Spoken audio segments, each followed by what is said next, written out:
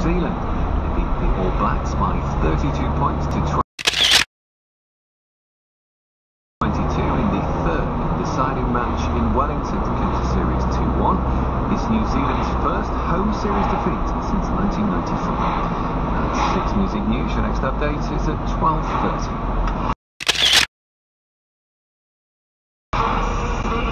BBC Radio 6